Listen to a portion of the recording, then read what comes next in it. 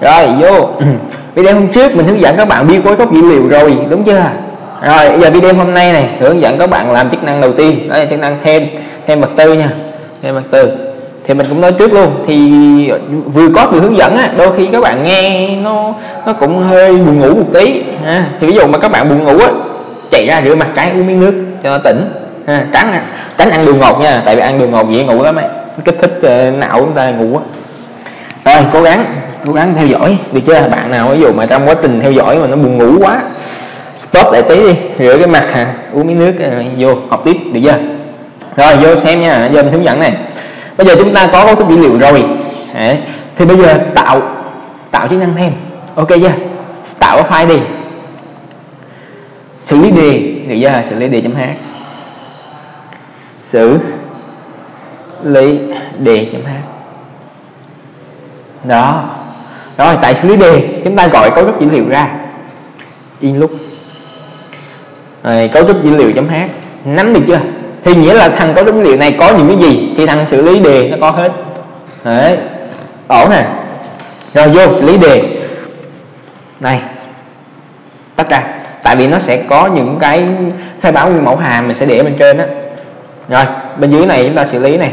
Thì cái đầu tiên chúng ta sẽ có cái menu menu rồi viết menu trước đi. Why vì chúng ta đang làm dưới dạng ờ, tỉnh mà đúng không? Sorry ha chỗ này viết cái hàm. Voi menu. Voi menu. Đó. Rồi chỗ này xử lý thôi. Why true được chưa? Xuất ra. À, chỗ này đầu tiên lựa chọn một là thêm. Thêm vật tư. Align đó. Tiếp theo, lựa chọn thứ hai. Thứ hai. Tí cái gì đó, tí nữa mình đi sau được chưa ví dụ vân vân, nó còn nhiều lựa chọn nữa, cứ làm từng bước thôi. Rồi, tiếp theo. Cái thứ số 0 nha, số 0 nghĩa là thoát, cái này luôn luôn phải có này. Thoát ra. Inline rồi. Một cái biến int lựa chọn. Yêu cầu, nhập lựa chọn vào nhập lừa chọn. Đó. Vừa có, vừa nói đôi khi nó nó không có lành mạch như cái lúc mà giảng. Tại ví dụ giảng một cái lý thuyết cho các bạn á, nó sẽ sôi nổi hơn. Còn cái việc mà vừa code vừa giảng các bạn á, đôi khi ờ, nó nó bị ngắt quãng á, khiến cho chúng ta dễ buồn ngủ lắm nên các bạn xem, mình cũng cố gắng hết sức thôi. Nhưng mà các bạn xem, các bạn ờ, ví dụ cố gắng, thấy buồn ngủ thì cứ rửa mặt đi hà là tỉnh à rồi. Vô. Nhập vật tư, chỗ này là sim lựa chọn, được chưa? Nhập lựa chọn vào. Từ cái lựa chọn đó ta switch hay này. Bắt coi nó là cái lựa chọn nào. Rồi, chỗ này khay đầu tiên khay số 1 đợi tí, lát à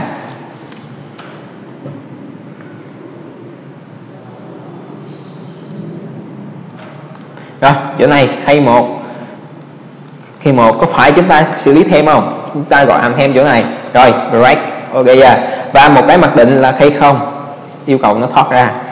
Rồi, muốn thoát là thoát cái này này, quay chu này, thoát nó đi. Thì chỗ này là ta có một cái biến là luận lý kt bằng chu. Ừ. sẽ chạy bằng chu là chạy. Rồi, khi nào mà người ta nhập nút không thì chỗ này kt sẽ bằng phone thay đổi giá trị thì dừng cái vòng lặp lại. Tại vì nếu chỗ này break thì nó chỉ thoát được cái cấu trúc bên trong thôi, là switch thôi, nó không thoát được cấu trúc bên ngoài. Nắm được chưa? Rồi ok. Đó menu sơ sơ như vậy là ổn này đó vô tiếp tục. À, thì những cái biến chúng ta cứ khai báo ở đây luôn đi ha. Tại menu chính là thằng xử lý chính luôn mà. Đó, menu là xử lý chính ở trong cái ờ, cái cái uh, chương trình này rồi. Thì ta cứ khai báo những cái biến ví dụ như là à, danh sách vật tư này khai báo ở đây luôn. Danh sách vật tư. Chỗ này là một cái danh danh sách xếp gạch vt nó viết tắt vậy đi à. rồi thì lúc này đây chính là danh sách vật tư nắm được chưa ok. Viết hàm thêm. Void thêm. Đó, cứ như vậy thôi, xử lý. Void thêm thì chỗ này. Bây giờ cái chức năng đầu tiên, mình xử lý chức năng gì comment ra? Thêm vật tư. Rồi, thì chỗ này phải là thêm vật tư này. Vật tư. Ừ. ta truyền cái gì? Ta truyền cái này vô. Truyền sách vật tư vô cho nó biết. Đó. Tham chiếu lại vì thay đổi giá trị nha rồi, đây, danh sách xếp gạch vật tư. Thì lúc này, giả sử chúng ta chấm, nó sẽ ra những cái thuộc tính bên trong, những thành phần bên trong. Chấm số lượng, nghĩa là số lượng phần tử này, chấm danh sách chính là cái gì? Danh sách vật tư chúng ta. Thì phải cho nó biết là phần tử thứ bao nhiêu. Tại vì danh sách mà, mảng mà, đúng chưa? Mà nhớ là đây là con trỏ nha, là cần phải cấp phát vùng nhớ mới xử lý được. Muốn lưu muốn lưu cái gì vô thì phải có vùng nhớ. Trước hết nó phải được cấp phát vùng nhớ mới lưu được. Tại vì đây là con trỏ. Rồi, lý thuyết là như vậy. Ok, bây giờ nè, thêm mặt tư, đúng không? Nghĩa là lúc này người ta muốn thêm rồi người ta muốn thêm rồi thì chỗ này cout yêu cầu nó nhập trước đi. Nhập. Nhập cái gì? Nhập mã vật tư được không? Rồi, mã vật tư một cái khay cho người ta nhập vẫn được nhưng mà nhập xong các bạn lại mang cái khay đó đi kiểm tra xem. Nghĩa là các bạn duyệt qua danh sách vật tư xem cái cái cái mã vật tư này nó trùng hay chưa. Nếu mà nó trùng rồi các bạn phải yêu cầu người ta nhập lại đó thì nó vẫn không hay. Ví dụ mà hay á thì sao? Các bạn tự cho nó một cái hàm tự sinh ra vật tư luôn. Tự sinh ra cái mã vật tư một cách tự động. Rồi mình sẽ hướng dẫn các bạn làm cái hàm như vậy. Chỗ này bây giờ đầu tiên là cái mã vật tư đúng không? Chúng ta cho nó sinh tự động thì chỗ này viết cái hàm đi. String string uh, ờ, tạo mã vật tư. Đó tạo mã vật tư. Thì mã vật tư sẽ trả về uh, return về a đó. Tí nữa return sau. Chỗ này là một cái string a rồi xử lý đi, tạo mã. Mặc định mình cho cái mã nó ở dưới dạng như thế này để chúng ta dễ xem này vt không không không không. À bốn không thôi, được chưa? Nghĩa là lúc này nó sẽ có hai ký tự đầu là mặc định là hai chữ vt bốn giá trị phía sau, chúng ta sẽ random nó. Nghĩa là nó có thể mang các số mà chúng ta random ra từ một đến chín. Nó sẽ đẹp. Rồi, thì muốn như vậy, đây là screen chúng ta gì thôi. For int y bằng à, thằng này là đầu là không này là một. Thì chúng ta số không đầu tiên là số 2 đúng chưa? Rồi y nhỏ hơn gì? A chấm len thằng cuối cùng. Và y cộng cộng. Thì tại mỗi thằng như vậy ta là random một số. Thì random mình sẽ có cái à, hàm ở đây cho các bạn xem. Random nha. Đây random. Đây là cái công thức để chúng ta tạo một số trong cái khoảng từ a đến b thì uh, muốn dùng thằng đó chúng ta phải có hai thư viện như thế này. Rồi copy đem vô bát qua nha. Cấu trúc dữ liệu đúng không? Mình nói rồi thư viện cái đẩy vô đây đi. Rồi ctime để làm gì? Ctime. Thì ctime chúng ta sẽ dùng cái thư viện này nè. Tại đây mình viết cái cái thằng à, hàm men nữa nha. In lúc đi in lúc. Rồi xử lý đề. Tại vì trong xử lý đề có cấu trúc dữ liệu rồi ha. Rồi nó có cả dưới em các kiểu rồi nên không cần khai báo nữa. In men rồi chỗ này xếp gạch ZCH đi. Cho nó đẹp tem bao nó có cái dòng xấu quá ha return không? Cái này để dừng màn hình thôi. Rồi kết thúc dữ liệu bổ sung thêm một cái nữa in look con io.h nha. Thằng get ch á là nó ở trong thư viện con io.h mà bên visual nếu yêu cầu phải có xếp gạch trước thì nó mới nhận. À, rồi đó dừng màn hình ổn chưa? Vô. Bây giờ muốn chạy á, thì phải gọi menu ra phải không? Gọi menu ra nếu muốn chạy chương trình. Rồi ngoài ra là gì? Các bạn lưu ý này đối với cái hàm mà tạo số ngẫu nhiên hàm ra này được chưa? Thì chúng ta cần phải có dòng này nghĩa là sran time null để cho nó reset giá trị cho thằng ran reset như thế nào? Nghĩa trong một chương trình thì cái thằng ran này nó sẽ tạo chúng ta mỗi số ngẫu nhiên số ngẫu nhiên. Nhưng mà cái lần chạy chương trình đầu tiên nó sẽ ra một số giống với cái lần chạy chương trình lần thứ hai, thứ ba, thứ tư. Nó giống nhau à được chưa? Thì cái ra để reset. Đó, mình gợi ý như vậy. Ví dụ các bạn nào muốn hiểu rõ sâu hơn á, cứ comment bên dưới đi. Thì cho mình giải thích sâu hơn nữa cho. Còn dù hiểu rồi thì thôi. Rồi, ok. Chúng ta muốn reset cái giá trị lại sau mỗi lần chạy chương trình. Chỗ này là sran thám, mở ngoặc ra. Null. Đó mặc định luôn chạy chương trình vô phát là phải có thằng này. Được chưa? Rồi qua bên này. Đây bây giờ chúng ta return cái gì? Return cái à, y cho cái thằng một số ngẫu nhiên cho nó y giữ. Ra gì? Ra mở ngoặc. Phần trăm. Trong cái đoạn AB thì lúc này lấy B từ A. Nắm được chưa? B mà lúc này nè các bạn lấy nha đây là cái chuỗi thì một phần tử chính là một cái gì? Một ký tự mà ký tự nó chỉ nhận giá trị character thôi. À, thì số số 9 á, sẽ là 57 đúng không? Mã key các bạn nào quên thì google ra. Trừ cho 48 là số 0 phải không? Mình nhận ở số 0 luôn 48 rồi cộng cho một đây công thức nha cộng cho a. Đó cái đoạn ab thì sẽ là b trừ a cộng 1 cộng a.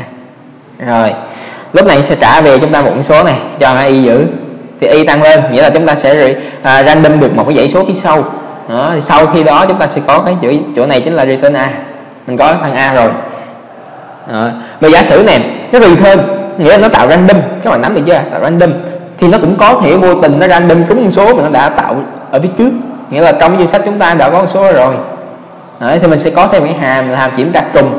Vẫn có hàm này nha. Đấy. rồi kiểm tra trùng. Thì chỗ này à, thường thường chúng ta dùng bool đúng không? Lượng lý true hoặc false nhưng mà đối với lại dạng này mình khuyên các bạn dùng integer. Từ từ, tại sao mình sẽ nói? Kiểm tra trùng. Rồi, chỗ này. Kiểm tra trùng thì lúc này ta phải có gì? Danh sách này có danh sách này ngoài ra, chúng ta phải có một cái biến string a để chúng ta so sánh string a. Xem cái mã có trùng hay không rồi, ok. Gì thôi? For int y bằng không. Y nhỏ hơn cái danh sách xếp gạch vật tư chấm đến số lượng. Đó đó, chính là là ít bằng số lượng. Được chưa? Để chúng ta biết coi danh sách bao nhiêu thằng chúng ta diệt. Rồi, diệt, đúng không? Thì giả sử tại phần tử danh sách xếp gạch vật tư thứ y, chúng ta chấm đến cái gì? À sorry, cái này trỏ, con trỏ mà. Từ nha, chấm danh sách nè, thứ y nè. Con trỏ thì trỏ đến cái gì? Mã và từ mà nó bằng bằng thằng a nghĩa là trùng đúng chưa? If. If. Đó. Nếu thấy bằng là trùng trùng phát là return luôn không nói nhiều. Return. Ok chưa return. Return cái vị trí mà nó trùng á. Return y về. Để sau này chúng ta tận dụng code lại. Đó thì khi nào tận dụng mình sẽ nói. Đó, bây giờ các bạn cứ theo dõi như vậy đi. Còn bình thường chúng ta hay dùng là luận lý true hoặc false thì thường thường chỗ này các bạn sẽ trả về là false đúng không? Nghĩa là nó trùng rồi. Còn không thì true à true thì chúng ta trùng thì nếu mà trùng trả về true đúng á. Đấy. Còn không, chỗ này sẽ trả về false phải chưa? Nhưng mà nâng cấp lên tí đi, để còn được tái sử dụng. Rồi, trả về cái vị trí mà nó trùng. Được chưa? Rồi, chỗ này chúng ta sẽ trả về trừ một. Trừ một. Tại vì cái mảng, cái chỉ số nó không thể nào âm được. Rồi. Trả về thì chúng ta nhìn trừ một, chúng ta biết là à này không trùng rồi ok chưa? Kiểm tra trùng chỗ này, giả sử nếu mà chúng ta tạo cái mã xong, random xong, thấy trùng thì sao? Cho tạo lại. Chỗ này là do quay. thực hiện tạo. Tạo xong rồi mới đi kiểm tra. Đúng không? Đấy. do quay nghĩa là xử lý rồi mới đi kiểm tra điều kiện. Đấy, là lý thuyết cơ bản nha. Rồi, kiểm tra trùng. Nếu lúc này kt xếp gạch trùng của thằng a và thằng danh sách bt xích sách vật tư mà nó gì? Nó lớn hơn đúng không? Nó lớn hơn không? Lớn hơn bằng không? Bằng không bằng tính lớn hơn bằng không? Nghĩa là nó trùng. Mà trùng thì chúng ta sẽ cho nó chạy lại. Ổn chưa? Rồi nó hỏi danh sách vật tư vậy? Truyền vô thôi. Khai báo cái uh, truyền tham số vô. Chỗ này. Ok chưa? Không thay đổi nên không cần tham chiếu nha. Rồi khai báo nguyên mẫu đi. Chạy lên khai báo bên trên chỗ này dòng đầu tiên là thêm. Đó. Thêm à, danh sách vật tư. Danh sách vật tư.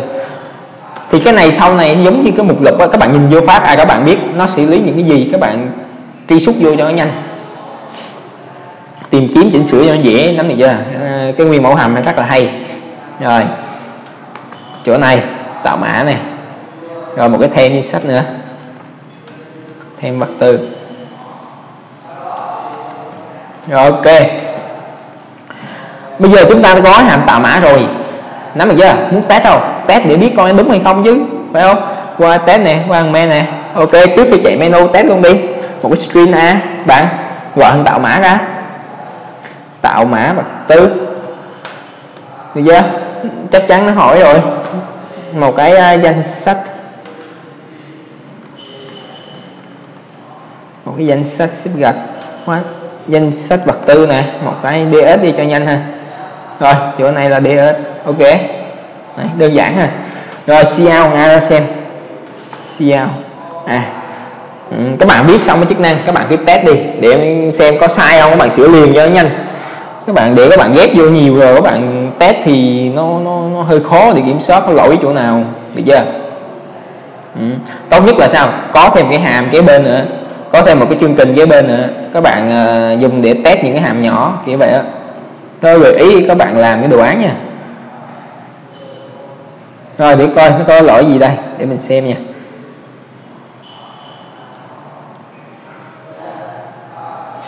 À nó kêu là một cái biến gì đó dòng 39 39 à chỗ này thiếu chấm phẩy. Đấy.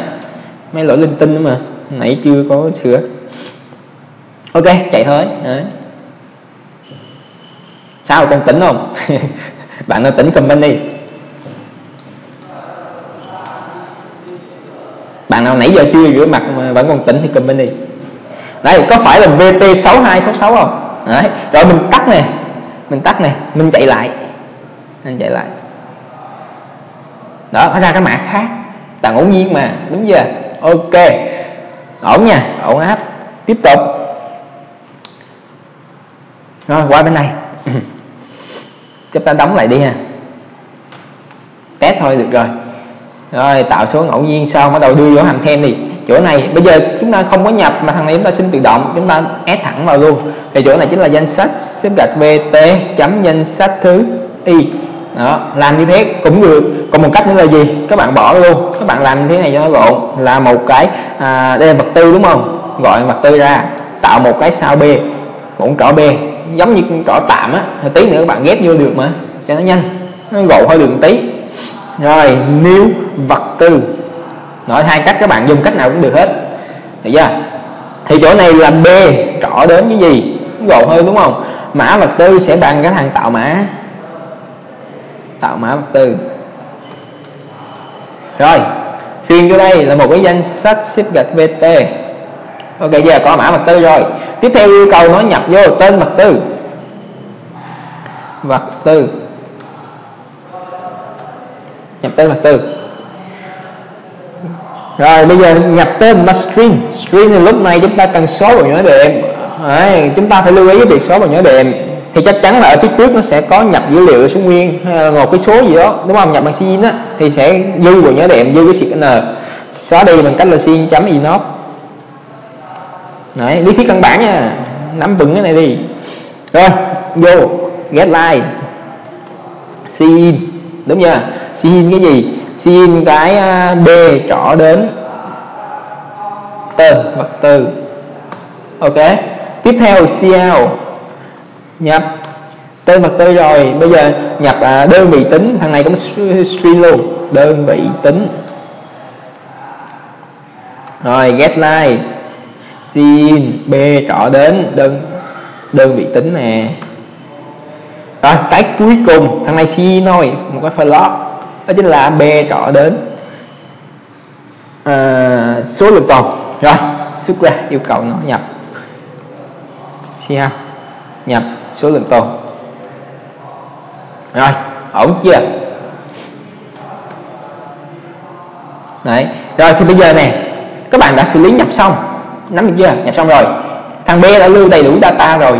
Thì lúc này các bạn mới đưa cái con trỏ B này cho cái thằng à, à, nghĩa thêm cái lưu vô danh sách đó. Bằng cách là gì?